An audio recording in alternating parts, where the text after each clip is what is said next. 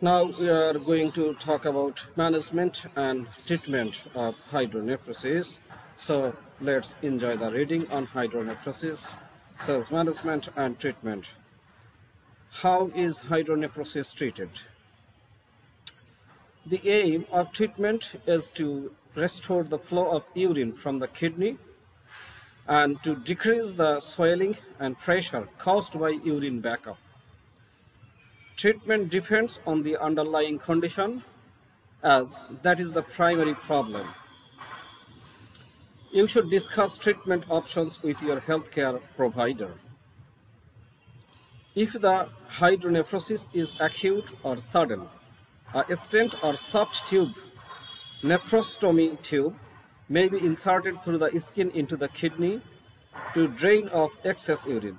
A soft plastic tube called a urethral stent may be placed between the kidney and bladder by a urologist during a cystoscopy to drain excess fluids. If hydronephrosis is caused by stones in the kidneys or ureters, treatment options may include shock wave lithotripsy. This is the most common method for treating kidney stones. High energy shock waves are emitted by a machine outside to break up the stones into dust or smaller fragments so that they can pass out of the body. Ureteroscopy, a thin tube with special instruments may be placed in the urethra to allow a doctor to break up and remove the stones. This method is used most often for stones in the in the bladder or lower half of the ureters. Ureteroscopy may be used in combination with other techniques such as a pulse dye laser or electrohydraulic lithotripsy to break up stones. This is the method of choice for pregnant women, patients with blood clotting disorders, and those who are morbidly obese.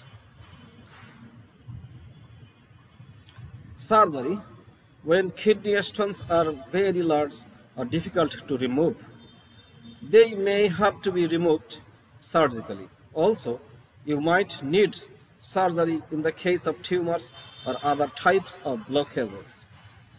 Medications used to treat hydronephrosis. Antibiotics may be administered to prevent or treat urinary tract infections. Analgesics Analgesics may be used to relieve pain. So that's the end on the treatment and management of hydronephrosis.